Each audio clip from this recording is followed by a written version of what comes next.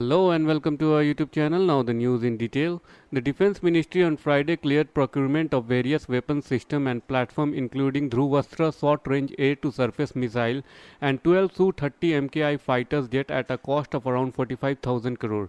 A total of nine procurement proposals were approved by the Defense Acquisition Council headed by the Defense Minister Rajnath Singh's official said.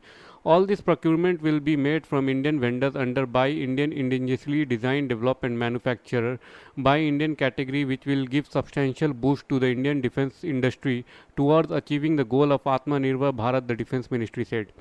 To, en- eh, to enhance protection, mobility, attack capability and increase survivability of the mechanized forces, the DSC accorded the approval of procurement of light armored multi-purpose vehicle and integrated surveillance and targeting system, the ministry said in a statement. The DSC cleared also the procurement of high mobility vehicle gun towing vehicles for swift mobilization and deployment of artillery guns and radars. The DSC further approved procurement of next generation survey vessels for the Indian Navy, the ministry said.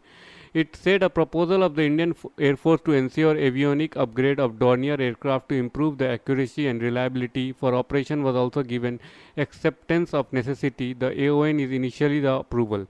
The procurement of Dhruvastra short-range air-to-surface missile as a potent indigenous precision-guided weapon for indigenously built by ALH Mk5 helicopter has been cleared by the DSC, the minister said. That's the end of the story. If you like the content of our video, please do hit the subscribe button, share it with your families and friends, and do not forget to post a suggestion in the comment section below. Thank you. Have a great day. Bye-bye.